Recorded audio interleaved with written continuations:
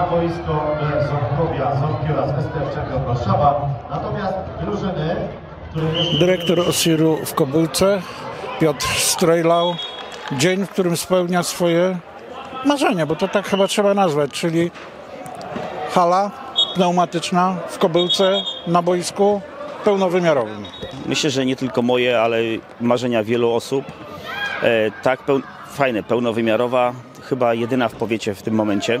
Pełnowymiarowa hala e, daje olbrzymie możliwości treningowe, szkoleniowe, e, organizacji imprez, eventów e, różnej maści, ale tak naprawdę głównie piłkarskich, no bo jest posadowiona na boisku piłkarskim.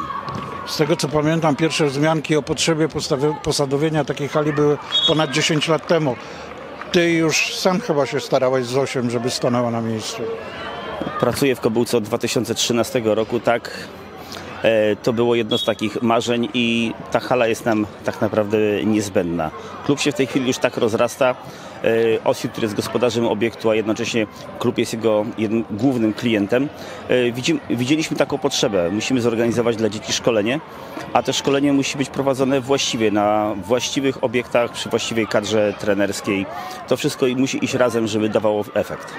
Z tego co wiem, chyba macie 430 e, młodych piłkarzy, czyli jest komu tutaj ćwiczyć. E, tak, powoli dobijamy do tej magicznej liczby y, 500 piłkarzy.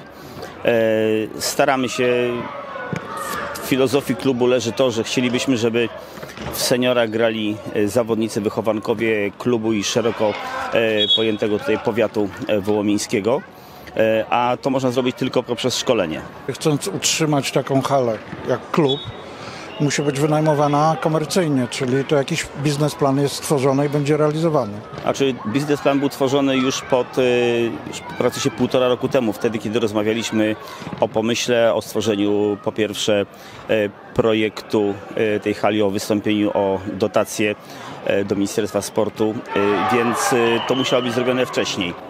Czyli komercja, ale jednocześnie pełna dostępność dla uczniów szkół i członków drużyn. OSI został powołany po to, że jako jednostka ma służyć mieszkańcom miasta w uprawianiu sportu, a jednocześnie też y, pomagać szkołom. Czy obłożenie hali już jest na tyle duże, że nie ma szans na wynajęcie w najbliższym czasie? Obłożenie jeszcze mamy takie, że część godzin mamy jeszcze y, wolnych, Czego życzyć dyrektorowi i osobie, która się tym zajmuje?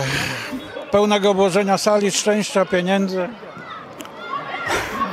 Ja bym zaczął tak. E, dobrej pogody, e, bezusterkowego e, użytkowania, e, wielu uśmiechniętych twarzy wchodzących i schodzących e, z sali.